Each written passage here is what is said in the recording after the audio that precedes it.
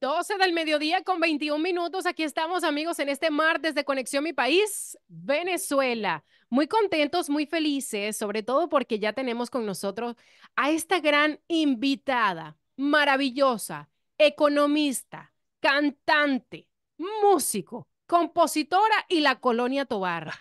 Queremos darle la bienvenida a nuestra bellísima y talentosa Judith Rodríguez. Bienvenida, Judith, a Conexión Mi País, Venezuela.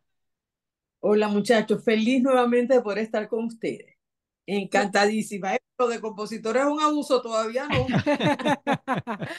Oye, es que, es que Judith hay que describirla eh, como ella es, chico, una, una, una mujer integral y que además nos enamora con cada melodía, con, con cada pieza que interpreta. Y justamente el día de hoy queremos, Judith, abordar un, a un artista maravilloso, Felipe Pirela, el bolerista de América y definitivamente tenías que ser tú la que estuviese en Conexión Mi País Venezuela para hablar sobre, sobre Felipe. ¿Qué te parece?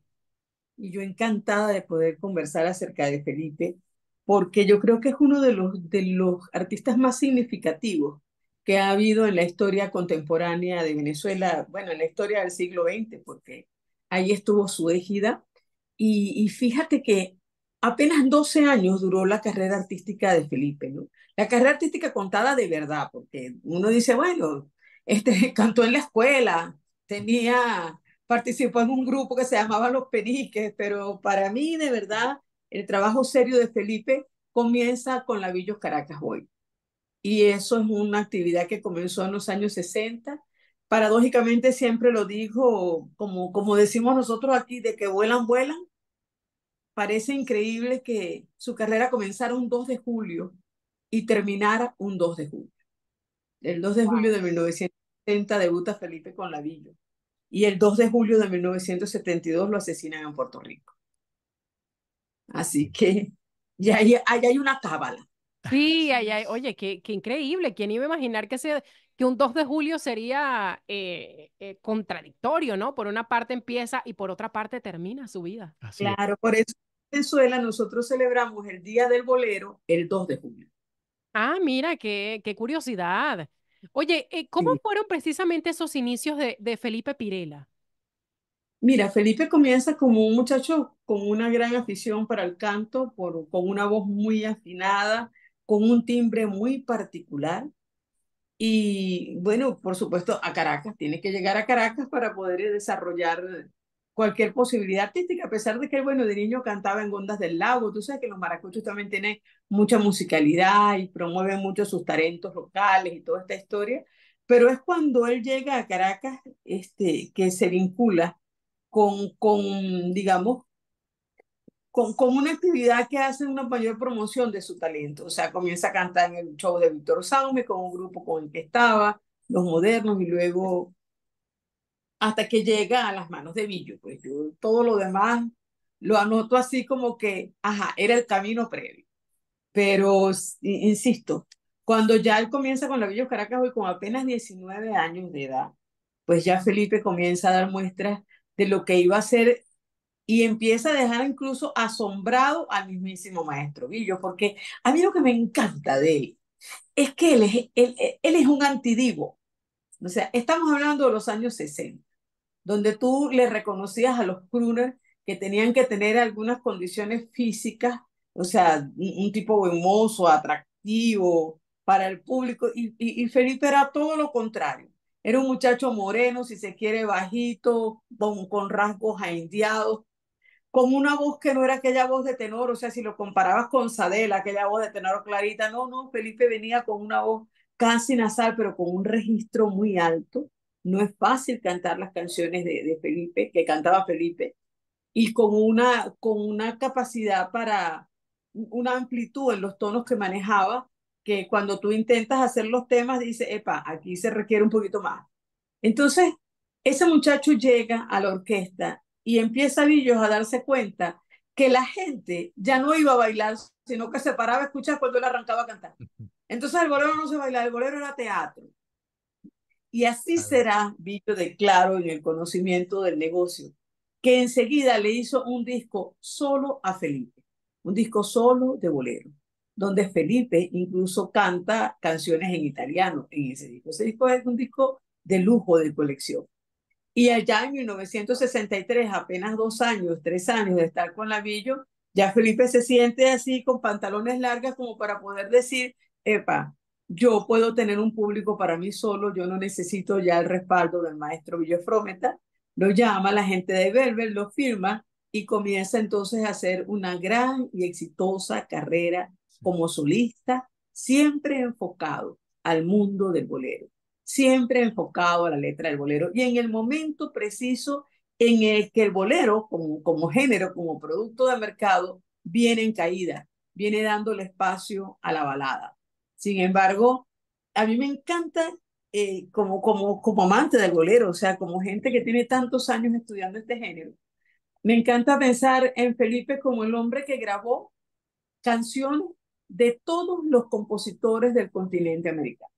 O sea, Felipe no se suscribió a un solo tipo de arreglo, Felipe no se suscribió a un solo tipo de compositor, porque tú de repente los ves ahora y dices, no, él canta las canciones de Manzanero. No, su repertorio está basado en las canciones de Pérez Botija o de Manuel Alejandro. No, si usted quiere conocer a los compositores latinoamericanos de bolero, agarre el repertorio de Felipe Pirela.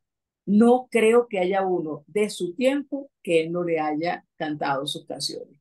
Es más, era tan claro, Felipe, que el disco de Manzanero, ese famoso disco de 1969, el famoso disco negro, donde están los grandes éxitos de Manzanero de los que vivió toda su vida, pues somos novios, y parece que fallé, toda esa cosa. Eso fue, eso lo grabó Manzanero en 1969. Y enseguida estaba haciéndole Felipe Pirela un homenaje a Manzanero con las mismas canciones que estaban metidos en esos discos. Ese es el disco que lanza a la fama a Manzanero.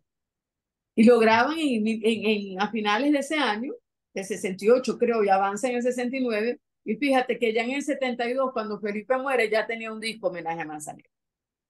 O sea, era el tipo, pues, no, no, no es un cantante, pues. No es un cantante. Te cuento, Judith, y perdona que te interrumpa, eh, que para nosotros bailar los boleros de, de, del maestro Pirela, del maestro Felipe Pirela, era increíble. ¿no? Eso era obligatorio en las fiestas que se, que se iba cuando yo estaba adolescente. Ahí uno aprovechaba ahí de,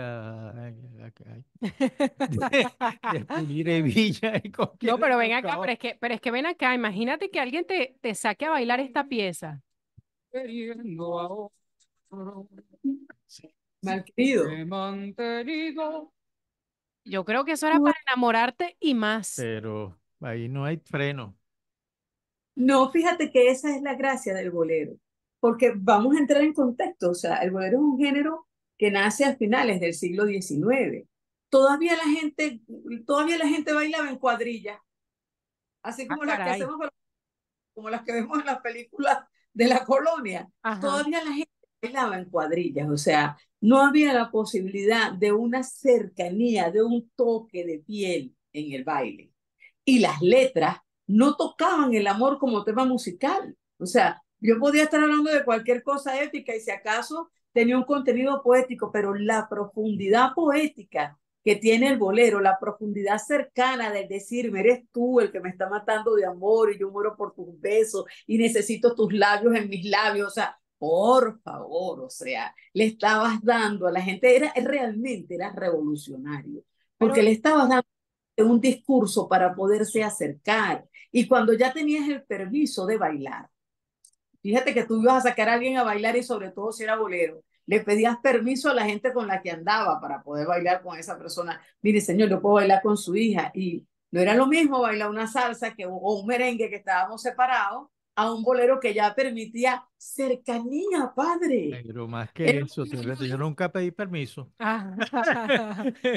Judith, en esa, en esa época de Felipe Pirela, ¿cómo se bailaba el, el bolero? ¿Ya se bailaba así O, o, todavía se bailaba así, tú sabes, con su distancia. No, pero es que eso fue el bolero siempre. El bolero se bailó siempre cerca, porque fíjate que de repente en los años 70 se pone de moda que la pareja femenina le pueda poner un lazo de brazos en el cuello al, al sin ser novia, ¿no? Ni nada parecido. pero tú te acuerdas cómo eran los bailes cachete a cachete. Mm. Eso es de los 50 y de los 60. Ah, caray. Se acercaba, claro, había que ser novios, había que tener una cierta familiaridad como para que tú pudieras agarrarte. Y eso es un cruce de Cachetearse ahí. Eso es un cacheteo, eso es un cruce de respiración, las miradas se acercan, el bolero es una excelente excusa para hablar de amor al pie de una ventana, en los momentos en los que esa era la única posibilidad que tenías de acercarte a la persona que te interesaba. O sea, no estamos hablando de ahorita, donde tú tienes un celular, ¿ok? Y tú Claro. a cualquier persona, si no te mandó 700 mensajes hoy, pues no me ama, no me quiere. Sí. Y de repente esta noche y después de cinco cervezas arranca el fastidio de mandar 10 mil mensajes más. No, es que es la verdad. No, entonces no hay, no hay espera, Luis. O sea, no hay, no hay, pas- no, no hay espacio como para necesitar, para ansiar, para desear, para esperar. Y eso forma parte de la magia del amor. ¿Entiendes? O sea, una, tú sabes lo que significaba iniciar una relación desde el coqueteo de ojos hasta que pudieras avanzar Cambio más de allá. luces, pues. El cambio de luces El- famoso. Como dicen en vulgar, el cebo de ojo. El cebo de ojo, está buena esa. Claro, a poder avanzar aún más allá. Y ahora resulta que si el primer día que saliste no te fuiste a la cama, la cosa no funcionó. Sí, bueno. Y yo, yo creo que esa caso. ah, Cierta razón hay en todo caso. claro, pero no, pero fíjate que no, Luis, porque, fíjate, de todas las series que hay en las plataformas digitales, las series más exitosas son las coreanas, Así es. ¿verdad? Mm. ¿Cuán- En una serie coreana, ¿cuánto tiempo tardan los protagonistas en una serie romántica en irse a la cama o en hacer el amor? Tienen tiempo. Bastante. cinco temporadas. Sí. como cinco temporadas. No, en una brasilera es el mismo día, una gringa limpia,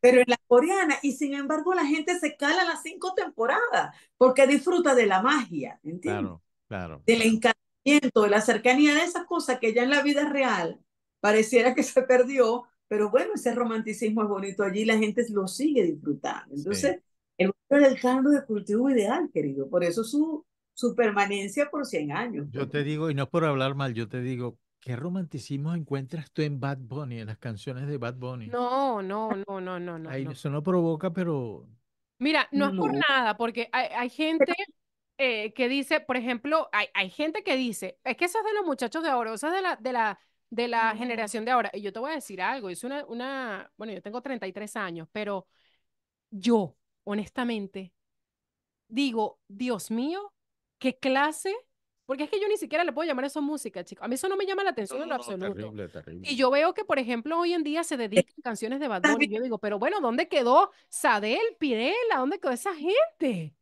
No, yo No, soy, lo que yo soy de los tiempos de antes, honestamente. Mm, Yo creo que lo que pasa es que eh, eh, esa canción, esa, esa música no está hecha para que escuches la letra.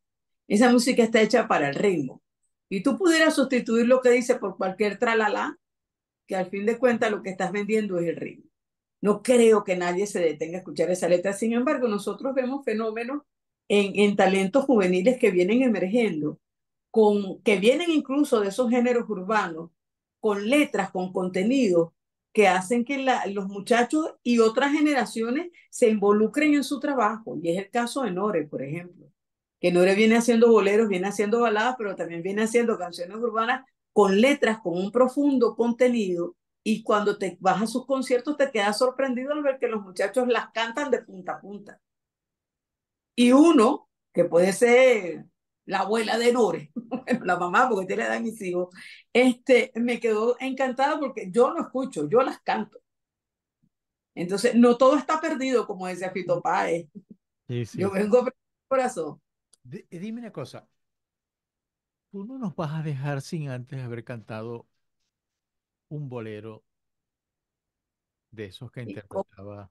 Estoy desarmada, no tengo instrumento. No, no, no, no, Judith, tú no nos puedes dejar a nosotros con estas ansias de querer escucharte. Escucharte, además que yo hablé de un montón de gente que, que escucharan a, a Judith Rodríguez. Que tenemos mucha gente, por cierto, a- a- haciendo un breve paréntesis, tenemos mucha gente conectada con nosotros. Queremos mandar saludos a todos los venezolanos que están conectados con nosotros en este momento desde diferentes partes del mundo y, y que además están escuchando a Judith. Por ejemplo, la tía Vilma nos dice, bienvenida Judith, gracias por Ay.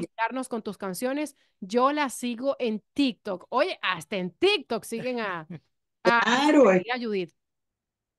estamos buscando siempre la posibilidad de llegar a través de las coloraturas a mayor cantidad de venezolanos a lo largo del planeta, pues, ¿no? Porque esta cosa de, de, de estar regados en el mundo nos ha permitido exportar nuestra cultura, pero necesitamos tener nuestro cable a tierra, nuestro poquito de conexión con las raíces, y lo que hacemos desde las coloraturas es precisamente eso, recontar un poco nuestra historia musical, ca- cantar nuestras canciones, tocar esos corazones, llegar a acompañarlos, llegar hasta allá y sobre todo eh, rescatar identidad, Sí. que es lo Dime una cosa, eh, Judith, ¿cuál es el, el bolero de esos que interpretó eh, Felipe que más lo identifica como ser humano?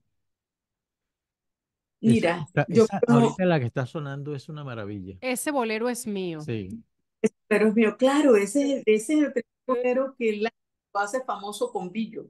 Felipe comienza cantando con Billo Puerto Cabello. Y, y es una historia muy bonita allí porque son como, como se unen los, los, los vínculos. Puerto Cabello la escribe Ítalo Pisolante mientras es estudiante de la Universidad del Zulia. Y nace así como en una especie de competencias entre amigos donde cada quien comienza a escribir la canción de su, a, hablar acerca de la canción favorita de su terruño. Y resulta que, mira qué casualidad, la escribe en el Zulia la y, y, y se la hace famosa en un maracuyo. O sea, ¿qué tal? el gran. Hay una serie ahí de coincidencias que van rodando. Sí, A mí me parece que la, la canción más significativa de Felipe, la que tiene más que ver con su vida, la escribió él mismo al final de su vida y se llama Lo que es la vida. Lo que es la vida, sí. En ella Felipe narra este, toda la serie de vicisitudes porque no todo fue color de rosa. Acuérdate que Felipe tuvo la feliz idea de casarse con una muchacha muy, muy joven, pero pareciera que se había casado con la suegra porque con ella fue con la que lidió todo un proceso de 13 años divorcio. tenía la muchacha, 13 años. 13 años tenía. La sacó de la primera comunión de la fila. Entonces, lidia con un proceso de divorcio muy, muy traumático, pues, que, le, que todo el tiempo estuvo abordándole, cochándole, dijéramos nosotros que la palabra no es la más bonita, atacándole la carrera, ¿no? Entonces eso lo hacía que él tuviera que irse de Venezuela permanentemente, incluso por los caminos verdes, porque tenía esta prohibición de salida del país y todo un montón de cosas, acusaciones incluso de homosexualidad que comprometían su hombría, porque en este momento cualquiera se pone una bandera LGTBI y sale para la calle una marcha y no ha pasado nada, pero hay que ver lo que significaba una acusación de ese tipo, una velada sospecha de ese tipo, dejada entrever por la exesposa, por la suegra, en una revista de alta circulación nacional. Eso incluso pues comprometía su carrera profesional, su, su, su, la forma como era vista por la gente, le afectaba muchísimo. Y bueno, pero como no hay mal que por bien no venga, eso obligó a Pirela a, a internacionalizarse aún más. Y hay algo que nosotros no tenemos, Luis, y que yo rescato mucho, este, es el hecho de que eh, aquí en Venezuela nosotros no le rendimos a Felipe Pirela el culto que se le rinde en el Caribe, el culto que le rinden en Puerto Rico, que le rinden en Dominicana, que le rinden en Colombia, que le rinden en Panamá, en el mismo Nueva York. Te lo puedo comentar por experiencia, por la coloratura que hicimos sobre, nosotros hicimos en- una coloratura cantando canciones de Pirela y hablando un poco de su égida, de su, de su trabajo. Y los comentarios que recibimos, todos fueron de personas que no eran venezolanos, exaltando, exaltando a Felipe Pirela como cantante. ¿Y a qué se debe eso, Judith? ¿A qué se debe que, que el venezolano no le rinda ese, ese culto y ese tributo que merece Felipe Pirela por, por su trayectoria y porque definitivamente dejó un legado eh, para nosotros, los venezolanos, para América Latina en general, e incluso eh, de forma internacional? Pero ¿por qué, ¿por qué el venezolano no lo hace? Es que nosotros no lo hacemos con nada. Nosotros somos hoy hoy, mañana y lo que viene. O sea, aquí es muy difícil que tú te sientes a ver hacia el pasado. Tú de repente vas a Colombia y ves el culto que tienen Colombia, los colombianos por Simón Bolívar y tú dices, eso no lo tenemos nosotros aquí. Correcto. Así es. Tienen que estárnoslo recordando a cada rato. Ellos no, para ellos es, es una presencia y tú dices, ay, mira cómo ellos tienen presente a Bolívar y, y le aplauden sus loas y en cada momento exaltan su égida y nosotros aquí, bueno, está bien, el, el 24 de julio y uno que otro día. Y ya está listo. Entonces, acaso? cultural, o sea, no es nada contra Felipe, no es nada contra Villo, no es nada contra Simón, no es nada contra Sadel, no es nada contra todos los olvidados, porque son todos. Sí, sí, sí, sí, en eso, en eso tienes razón. Y esta vida fue particularmente in increíble, ¿no? Y, es, es, como una paradoja, el, un artista famoso con éxitos en todo el mundo y que haya tenido una vida privada tan que lo martirizó tanto, ¿no? Y que lo llevó a interpretar una canción que me, me, cuando yo la escuché la primera vez, estaba viviendo yo en el Zulia, eh, uh -huh. El Malquerido. Es una canción. El mal...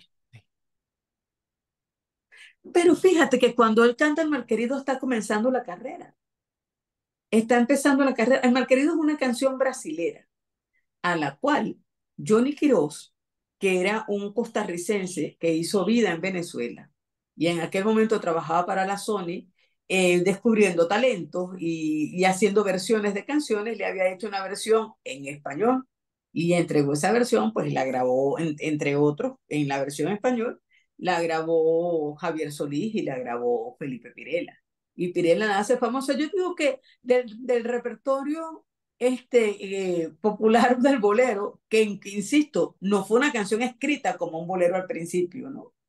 Este, eh, es la canción con más baja autoestima mm. que existe. Así es. Sí. Soy más que, después de esa por dignidad, yo Manuel Serrao, o sea, soy mal querido, pero yo aquí me quedo porque... Entonces, es quizás, pero no, para él no era definitoria en ese momento la, la, la canción como tal. ¿Y, y cuál no. crees tú, Judith, que, que es el tema? Eh, porque eh, Luis te preguntó sobre el tema, digamos, que se identificaba con su vida, pero el tema con mayor envergadura que tuvo Felipe Pirela. Eh, mira, fueron muchísimos, pero por ejemplo, únicamente tú eres el todo de mi ser porque al buscarte en tu querer me lleno de inquietud. Sabes que para mí no hay nada igual como tu amor, ni nada igual a la pasión que siento yo por ti.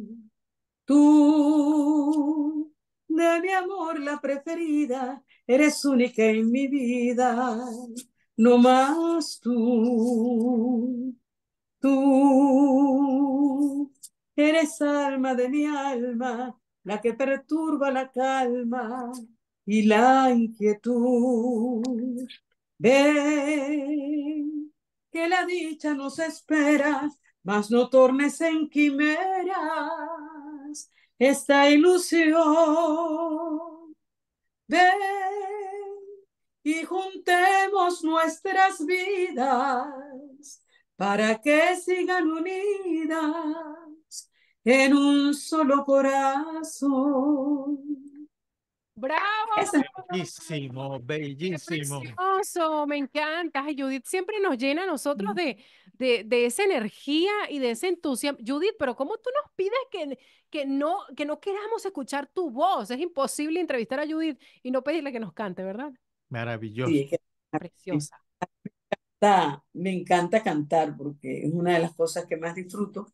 Y ahora estamos desarrollando un proyecto bien bonito que vamos a empezar a compartir esta semana, que tiene que ver con las canciones de nuestros padres, ¿no? Porque ah, resulta que nosotros hemos a la música y al bolero a través de las canciones que escuchamos en casa. Y nos hemos estado reuniendo varios grupos de amigos, así como que, ok, dime dos canciones que te recuerden a tu papá, dime dos canciones que te lleven a tu infancia. Y bueno, y ahí vamos, las cantamos, las compartimos y las vamos a estar publicando en los próximos, por lo pronto con, con la gente de aquí de Valencia, con, con los amigos que quieren colaborar con el proyecto. Oye, qué lindo, qué, qué belleza. Mira, eh, Judith, por acá me están pidiendo, hay una, hay una mm. petición especial, nos dice Carmen Larriba, ¿nos podrías cantar con tu preciosa voz Sombras nada más? Wow, Sombras nada más. Bueno, fíjate, Sombras es el claro ejemplo de que ahorita cuando hablábamos del Marquerido, tú sabes que te hacía la insistencia de que no era un bolero caribeño, ¿no? Y que la letra no correspondía porque en mi teoría, nosotros en el Caribe, cuando hablamos de amor, hablamos incluso hablando de amor en el desamor, en el despecho, no somos descriptivos como lo es el tango. Y no nos quedamos enredados en eso, somos Caribe, nosotros vamos para adelante, para allá, o sea, para allá, para allá que queda. ¿Ah? Para allá que queda. Para allá es que queda. Adelante para allá. Entonces, de repente, cuando tú comienzas a conseguir en el bolero letras que tienen un dolor muy relatado, muy detallado, muy explícito, lo más seguro es que eso sea un tango versionado a bolero o que sea un bolero escrito por algún sureño, por alguien de Argentina, de Perú, de Chile, porque nosotros somos compañeros con excepciones, por supuesto, contadas, como Cantoral, eh, Tite Alonso y este tipo de cosas, nosotros no nos vamos a, al dedo en la llaga, nada más ahí al dolor. Pero es que los argentinos son así, ellos llevan el dolor clavado. Intenso, intenso. que si la China lo engañó, que si no, no. Muy descriptivo. No, pero imagínate, las obras más. Mira, tú sabes que yo tenía un amigo argentino que me decía, que amigo, yo les voy a decir quién era. Todo, todo, un personaje de, de de, de, del canto. Muy, muy amigo mío, Facundo Cabral. Wow, Él fue muy amigo mío, que en paz descanse. Y, él, y, él, me decía, Luisito, pero ¿cómo crees tú que somos los argentinos? Sí, los mejores tangos, esos tangos de dolor, los escribimos justo en los mejores tiempos de Argentina. Sí, hay una renuncia, hay una renuncia renuencia a la felicidad, pareciera. Sí, así es. Fíjate, Sombra es, realmente no es un bolero, es un tango, pero cuando Felipe se involucra con Billos, está en la época Billos en la que está haciendo versiones a boleros y están muy de moda las versiones a boleros de tango, por ejemplo, por la vuelta, que es un, es un tango también, pues también lo cantaba Felipe con Billos. Mira, fíjate en la letra, algo así, no, no te imaginas una gente del Caribe diciendo, quisiera abrir lentamente mis venas, mi sangre toda, verterla a tus pies, para poderte demostrar que más no puedo amar y entonces morir después. Y sin embargo, tus ojos azules, azul que tienen el cielo y el mar, viven cerrados para mí, sin ver que estoy aquí, perdido en mi soledad. Sombras nada más, acariciando mis manos, sombras nada más, en el temblor de mi voz. Pude ser feliz y estoy en vida muriendo y entre lágrimas viviendo el pasaje más horrendo de este drama sin final. Sombras nada más entre tu vida y mi vida. Sombras nada más entre tu amor y mi amor. Y ahí después se despliega con más dolor, ¿no? Mira, te voy a decir algo. Te voy a decir algo, Judith. Tú no me estás viendo, pero Luis es testigo. Se me erizó la piel escuchándote cantar esa canción. Y pio, como dicen en no, los no, Andes. No, no, qué preciosa, Judith. Qué preciosa. O sea, Judith, mira, Judith enamora a cualquiera, honestamente. O sea, tiene una voz preciosísima. No creas, no es tan fácil, pero bueno.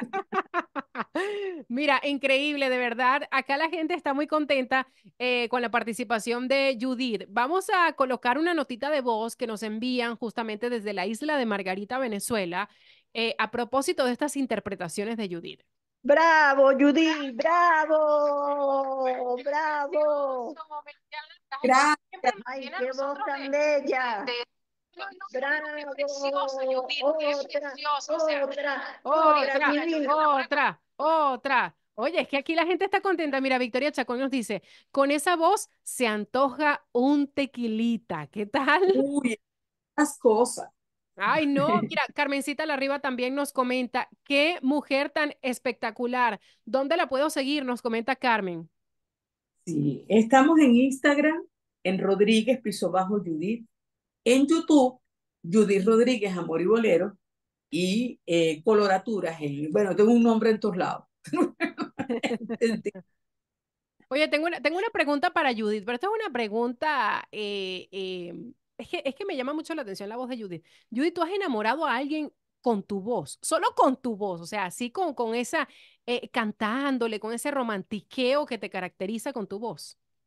Tú sabes que, que esto es todo un trabajo de magia, de encantamiento hay aquí, ¿no?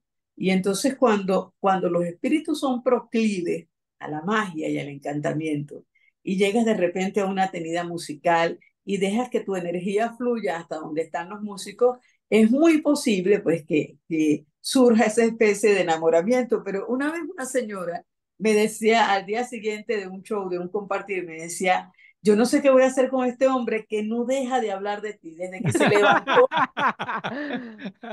y anoche yo, si después de mediodía le dura, preocúpate, porque eso es, viene ahí. No sé. Qué La rompecorazones, Así Judith Rodríguez. No. No, no, no, no es inocua, imposible. No, mira, Hay espíritus que no todo el mundo, fíjate que muchas veces uno piensa que la música es algo que le gusta a todo el mundo y es algo que nadie se atreve a confesar que no. O sea, todo el mundo asume que a todos nos gusta, pero no todos administramos, consumimos y amamos la música de la misma manera. Hay personas que somos melómanas, hay personas que podemos pasar todo el santo día escuchando música, que no hacemos nada sin escuchar música, que nos aprendemos las canciones sin darnos cuenta, que nos tomamos la molestia de sentarnos a escuchar detenidamente un intérprete, que sabemos distinguir una guitarra o un piano, lo que están haciendo allí. Esos somos los verdaderos amantes de la música. Somos los tipos que vamos a llegar a una reunión y nos vamos a sentar a consumir lo que estén haciendo ahí y agradecer lo que están tocando y a disfrutar de la energía que nos están dando quienes están ahí. Pero hay mucha gente para quien la música es solo el fondo musical de su conversación. Y pagan un concierto y pasan todo el concierto hablando. Porque es más importante la conversación que ellos tienen que lo que se está escuchando allá afuera. No, yo Entonces- disfruto eh, enormemente la música. Tengo otro mensaje por acá, nos dice eh, desde Washington, D.C., éxito a todos. Gracias por presentar a Judith. La sigo hace Gracias. tiempo. Es un gran placer oír sus historias y su voz. María Emilia. Ay, qué bien. Ay, gracias, María Emilia. Se María Emilia. Muchísimas gracias. Pero bueno, fíjate que de eso se trata precisamente. Y nosotros muchas veces, los artistas, cuando lo conversamos, los cantantes, los que estamos en esto, decimos, oye, no entendemos por qué nos contrataron para esa fiesta. Éramos un radio de carne que estaba puesto ahí. Un radio de carne. radio de carne. A nadie le interesó lo que cantamos, lo que hicimos, lo que dijimos, cómo nos tratamos de involucrar, las horas de ensayo que tardamos antes de pararnos allí Claro. para llevar esas canciones, para, para hacer esos temas. Entonces, imagínate tú en el caso de Felipe, que había tenido toda esa trayectoria, que prácticamente tuvo una época, Felipe tuvo una época en que incluso tocaba en una misma noche en dos países diferentes. Wow. Se bajaba de un, yo tomaba un avión y iba a cantar en otro país. O sea, imagínate tú el nivel de popularidad, de reconocimiento, de aplauso que tenía, que tenía Felipe Pirelli. Y de repente, bueno, como todo producto viene el down, pues, ¿no? No estás preparado para administrar eso. Ese muchacho cuando lo mataron tenía 31 años, pan. Ay, estaba jovencito, por Dios. Es una criatura, ¿entiendes? Entonces tú dices, este, había que tener más madurez, no la podías tener a esa edad. No creciste poco a poco, creciste de golpe. De golpe. Y eso no te, no te permitió administrar concienzudamente ni los recursos que te ganaste durante todo ese tiempo, ¿ok? Ni administrar a conciencia tu carrera. Sí, sí, sí. Qué genial. Judith, a nosotros nos gustaría más adelante que eh, en una próxima invitación que te queremos hacer, hablar sobre ese proyecto que vas a comenzar a desarrollar, sobre las canciones que les gustaban a nuestros padres, porque son muchos recuerdos, Uy, qué increíble, claro que sí, por Dios, súper interesante. Esa, esa Ya propuesta, esa, grabamos, esa- lo grabamos este fin de semana y fíjate que la iniciativa surgió porque entre los músicos comenzamos a conversar acerca de, la- de ese tipo de temas, ¿no? Uno de mis guitarristas o de los guitarristas con, con los que canto, con los que trabajo, este, en estos días nos invitaron a una entrevista en Venevisión y cuando estábamos preparando el repertorio, él agarra y me dice, esa canción yo se la acompañaba a mi abuelo, porque resulta que él empieza a tocar guitarra desde los 10 años, acompañando a su abuelo, que era guitarrista, y a su papá, que era requintista. Entonces dice, yo me sé un montón de boleros que nadie canta, un montón de boleros que no se escuchan en ninguna parte, pero eran los boleros que cantaba mi abuelo Claro. eran los boleros que cantaba mi papá y no los he vuelto a cantar más nunca. Y entonces de repente viene otro y cuenta y dice, mira, mi mamá trabajaba como transporte escolar. Y para mí es un recuerdo claro cuando ella se levantaba en la mañana a preparar las arepas y la comida y prendía la radio y en ese momento yo empezaba a escuchar esta canción de los Panchos y entonces yo asocio esa canción Flor de Azalia con el olor a las arepas y con el olor de café. Entonces tú dices, epa, nos quedamos todos pegados y dijimos, ¿cuántas canciones no habrán asociadas a olores familiares? ¿Cuánt- En, en, en un país como el nuestro que es tan musical, donde la gente asocia su actividad, su vida con música, donde nosotros todos tenemos que tener música por delante, ¿cuántas canciones no hay que identifican a alguien?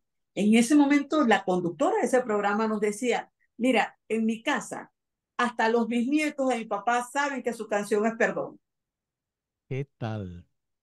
¿Entiendes? Entonces, tú identificas a los tíos, Sí. identificas, identificas a la familia Sí. con las canciones con las que, con las que son ellos. Por lo menos mi mamá es el plebeyo.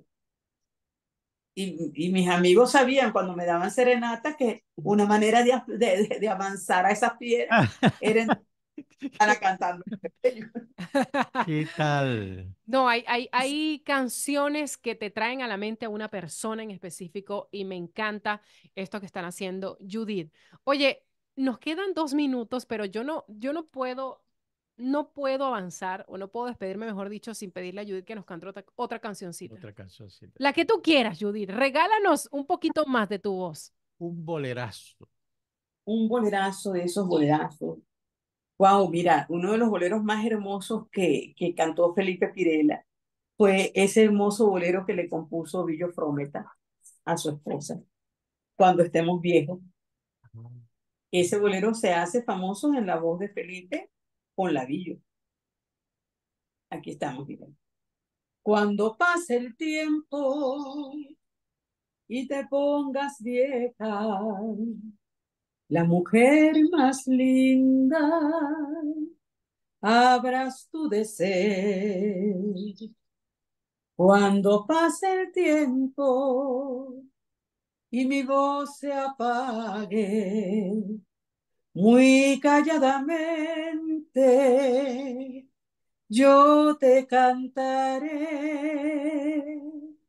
cuando estemos viejos, dulce novia mía, tu cabeza blanca tendrá en cada cana una bendición y tu mano suave, como en otros tiempos, temblará en mi frente. Y mi boca mustia, cansada de besos, te hablará de amor. Cuando estemos viejos, no hará falta el cielo, pues tus ojos lindos, el sol y la luna, para mí serán. y por eso quiero, dulce novia mía, que los años pasen y llegar a viejos para amarnos más. ¿Tú te imaginas esa belleza de, de programación neurolingüística que tiene esa canción? No sé. Diría, En- di- diría, dirían por allí, el que me la dedique me caso. Fíjate que en estos tiempos donde tú estás pendiente si te llaman siquiera al otro día, que alguien ofrece y se vea contigo en este momento allá cuando estemos bien. Ay, qué ¿Quieres una belleza. Es bellísimo. Qué belleza. La- que acabas de decir es bellísimo. sí, totalmente. Porque es que es en realidad lo que te dice la canción. Hace algún tiempo eh, nos volvíamos locos con una canción de Santiago Cruz que decía, quiero que seas lo primero que vea al despertarme. Y yo digo, no, le chupo a Billo. Yo te estoy cantando cuando estemos bien. Excelente. Qué belleza y qué excelente manera de terminar el programa del día de hoy en Conexión Mi País Venezuela. Judith, qué voz tan increíble tienes. Eh, honestamente, nos enamoras cada vez que estás con nosotros acá en nuestro programa y bueno, esperamos seguir contando con tu presencia, pero por favor, Judith, antes de despedirnos, vamos a recordarle a todas las personas que nos están escuchando cómo seguirte a través de tus plataformas y además a través de nuestro canal, de tu canal, perdón, de YouTube, donde de tienes YouTube tantas piezas increíbles. En, en el canal de YouTube está todo. Judith Rodríguez, Amor y Boleros. Ahí están colocados todos los trabajos, todas las entrevistas, todas las coloraturas. Lo que vamos sacando a, a- a Instagram son breves informaciones para que para invitar al, al canal. Ahí está todo lo que hemos hecho con la música venezolana, lo que hemos venido haciendo con el bolero, lo que nos identifica y yo siempre estoy muy agradecida de ustedes por estas invitaciones porque sé que me ayudan hacer lo que yo quiero hacer, que es tocar todos esos corazones que están regados por el mundo, hacer una gran comunidad donde en realidad lo que nos una sea la música. Judith, nos preguntan por acá rápidamente que cuándo te presentas en la isla de Margarita. Ay, cuando me inviten, yo feliz. Te Excelente. voy a decir a esa paisana oriental que yo estoy aquí escotera y sin maleta. Excelente, Judith, gracias. Ha sido un verdadero placer haber estado contigo acá en Conexión Mi País Venezuela y bueno, tenemos que tenerla más a menudo, Un Luis. fuerte abrazo. No, pero es que vamos a invitarla para que nos hable de esas canciones de los abuelos. Sí, los sí, sí, padres. sí, precioso. Yo por lo menos tengo dos, tres canciones de mi mamá que ¿Cuáles a mi mamá. recuerdas? ¿Cuáles recuerdas? Y- Oye, en este momento no las tengo, pero yo tengo anotado todos los recuerdos de mi mamá y de mi papá. Pero mi papá era una persona que le gustaban era la ranchera. Ajá, está bien, perfecto. Este, y él cantaba todas esas canciones que interpretaba eh, eh, eh, Pedro Infante. Él era Ajá. fanático de Pedro Infante. Te voy a decir más. Mi papá tenía un cine, ¿Sí? claro, en donde únicamente él aceptaba que se proyectaran películas que tuvieran el sello Estudios Churubusco de México. ¿Qué te Ay, parece 13? qué un fan. ¿Y tú, y, y las tuyas cuáles son, amiga? Las canciones que te llevan a tu infancia, a tu familia. Bueno, un- eh, u- las canciones de Felipe Pirela, cuando yo viví durante más de 14 años en, en Maracaibo, estaba yo en mi niñez y hasta mi adolescencia, todo lo que, lo que produjo eh, Felipe Pirela, pero de ahí en adelante han venido boleristas impresionantes. Sí, pero, pun- desde- desde pero Armando puntuales. Manzanero, te advierto que se golpeó, pero hasta donde, bueno, hasta donde no pudo. Ese Pero fue, revisa caus- ese fue el causante de muchas novias, te advierto. así, le agradeces más bien Sí. muchas no. Bueno, te podrás imaginar, cuando Manzanero murió, nosotros hicimos un homenaje y nos costó muchísimo escoger 30 canciones. Sí, sí. Y cuando del show, todo el mundo me caía encima. No, pero faltó esta, pero faltó esta. Porque incluso hay canciones que son, y nos fuimos al del tema, hay canciones que son de Manzanero que la gente no sabe que son de él. Por ejemplo, tú escu- escucha la canción que con amor, cantando va el gondolero. Eso es de Armando Manzanero. Nada personal. Nada personal. A la que vive contigo, yo la envidio porque tuvo mejor suerte. Eso es Armando Manzanero. Huele a peligro de Miriam Hernández. Huele a peligro. Pero mira, imagina, o, o eres de Miriam Hernández también. Bueno, eso es Manzanero. Qué belleza. Gracias, Judith. Ha sido un verdadero placer. Que tengas una hermosa semana. Oye, bellísimo. Muchas gracias por haber estado con nosotros. Un gran abrazo, mi amiga, que te vaya bonito y bueno, amigos, a seguirla a través de su canal de YouTube, Judith Rodríguez, Amor y Boleros. Así es. Y a todos Exacto. tus seguidores. Gracias a todos los que estuvieron. Bye. Gracias, Judith, un abrazo. Increíble, preciosa, amigos. Hemos llegado pues al final de nuestro programa por el día de hoy, Conexión Mi País, Venezuela.